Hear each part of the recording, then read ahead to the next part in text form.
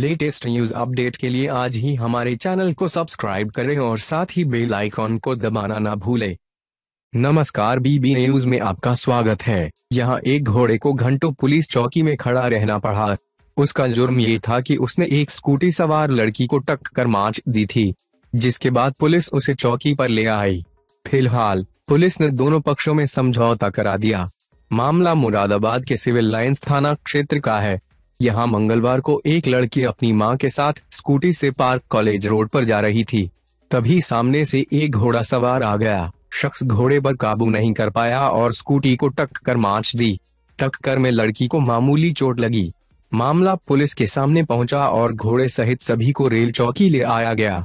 घोड़े को बाहर गेट पर ही बाँध दिया गया। चौकी in charge sub inspector Satish Kumar ने बताया। शख्स किसी शादी में अपना घोड़ा लेकर जा रहा था, अचानक वह स्कूटी से टकरा गया। लड़की ने तहरीर दी थी कि घोड़े की वजह से उसे चोट लगी, लेकिन बाद में दोनों पक्षों में समझौता करा वापस भेज दिया गया।